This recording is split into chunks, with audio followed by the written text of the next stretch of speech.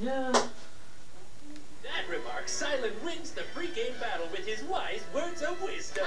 Shut up, Fatty!